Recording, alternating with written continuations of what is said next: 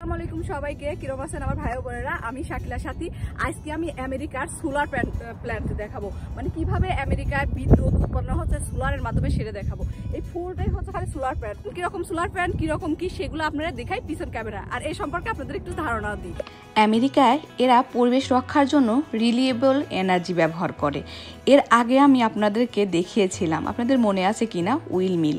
আজকে দেখাচ্ছি solar plant.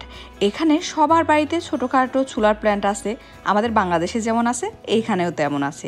কিন্তু এই যে যে জায়গাটা দেখাচ্ছি, এই জায়গাটাতে শত শত একরের উপরে তৈরি হয়েছে এই সোলার প্ল্যান্টটা।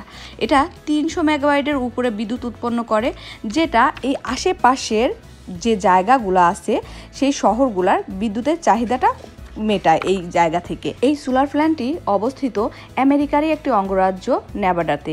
এই জায়গাটাতে আসলে আশেপাশের কোনো বসতি বাড়ি নেই। দেখতেই পাচ্ছেন এই নেভাডার জায়গাটা একেবারে মরুভূমির মতো। অর্থাৎ এখানে প্রচুর পরিমাণ রোদ হয়। এই জায়গায় আশেপাশে কোনো ফসলাদি হয় না। যেহেতু ফসলাদি হয় না, সেই কারণে এই জায়গাটাকে তারা কাজে লাগিয়ে সৌরবিদ্যুৎ কেন্দ্র স্থাপন করছে।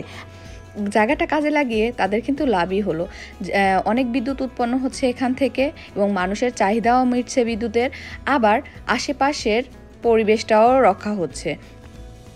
এরপরে কোনো একটা ভিডিওতে আমি আপনাদেরকে হাই ইলেকট্রিক পাওয়ার প্ল্যান্ট দেখাবো। অর্থাৎ বিদ্যুৎ উৎপাদন কেন্দ্রটা আপনাদেরকে আমি দেখাবো। ভিতরে যাতে কেউ না যেতে পারে, যার জন্য এই বেড়াগুলো দিছে। আমি তো ভাবতাম শুধু বাংলাদেশে কাটাতারের বেড়া দেয়, কিন্তু না, এখানেও দেখলাম খুব সুন্দর করে সাবধান করে দিছে। এই যে লেখাটা ছিল, সাবধান করে দিছে যে এর ভিতরে আপনারা আসতে পারবেন না। আর মেইন রোড থেকে অনেকটা দূরে, আমরা হেঁটে গিয়ে এই জায়গাটার ভিডিওটা করলাম। আশেপাশে সব কিছুই দেখতে পাচ্ছেন, একেবারে বলতে পারেন মরুভূমি বলতে পারেন। তবে কি জানেন, যখন ঠান্ডার সময় আসে, এই জায়গা, ঠান্ডার সময় এই জায়গাগুলো ফুলটা বরফ পরিণত পরিণত হয়। আর যখন গরমের টাইমে এত পরিমাণ গরম এই জায়গায়, তা বলার অপেক্ষা রাখে না।